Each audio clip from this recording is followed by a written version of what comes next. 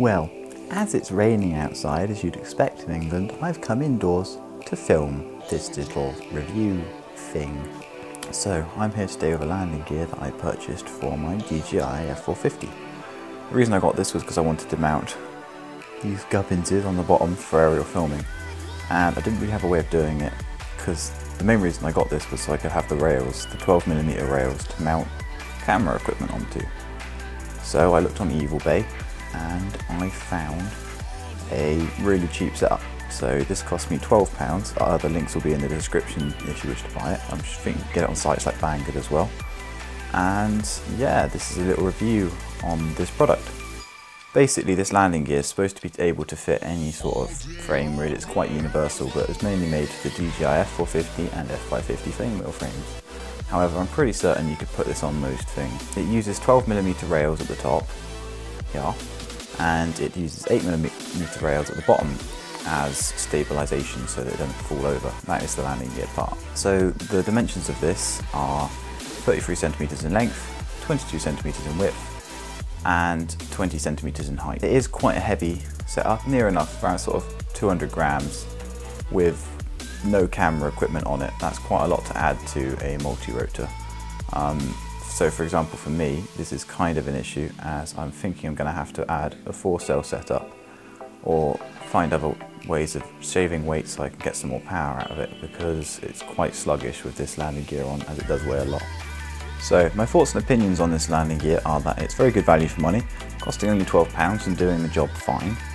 I think the build materials however aren't too fantastic. This is made out of some sort of plastic composite, maybe HDPE or something, which is fine, it does the work well. However, when I assembled the frame, it's quite brittle and one of the lugs that holds it in snapped. Um, I put it back together However, it means there's a slight camber on the whole frame, so it's sort of splayed out a little bit. Um, I'm not entirely sure as to why that's happened, and it's not ideal, but hey ho. Um, it uses some sort of carbon fibre boards to mount to the quadcopter, and it also comes with a battery mount as well as a camera gimbal mount and I'm presuming the camera gimbal mount will fit things such as a Zenmuse gimbal or something because it doesn't it's not compatible with my Feiyu Tech gimbal which wasn't an issue anyway because I've made this vibration isolator. Just put it over there. So the video is there if you want to see that. Um, so it wasn't an issue. However, I am thinking about redesigning a lot of this. It works perfectly. The main reason I did get this after all, like I said, was for the rails, so I could mount my camera to it. So the rails work fine, there's nothing wrong with them, they're brilliant.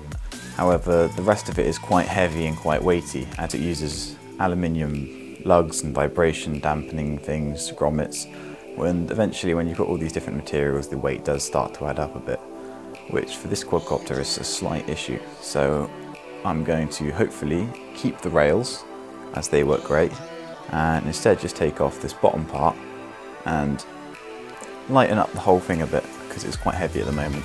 As you can see I've had to counterbalance the amount of weight off the front and offset it with the battery at the back. Um, it will have more batteries added soon as it's running very small batteries, but I can't really put a bigger one on at the moment because of the weight of the landing gear. So that means the flight times are appalling. I'm now going to show you how I've mounted it to the quadcopter and I did this simply just using zip ties as there wasn't really much point in using any bolts because I've put in little rubber shields things, little rubber sections that will hopefully remove slightly more vibrations because although it does have rubber grommets to try and remove vibrations, they're quite hard and I shouldn't imagine they actually do that much to remove any vibrations at all. Would I recommend buying this? Yes.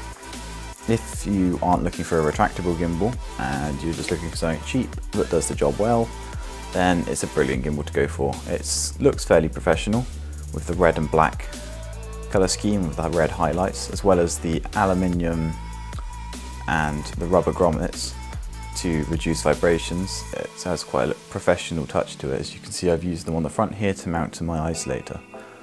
It's quite impressive that they can actually afford to manufacture these sort of things and it still only cost £12.